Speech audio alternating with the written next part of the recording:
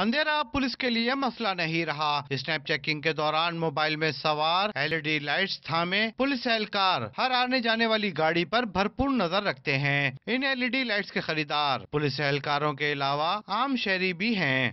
تیز ہمارے پاس نہیں ہے، نارمل رینج کے جیسے پکنک وغیرہ کے لیے، یہ وہاں سے تھوڑے پائیدار ہوتے ہیں۔ کوالٹی تھوڑی سی اچھی ہے۔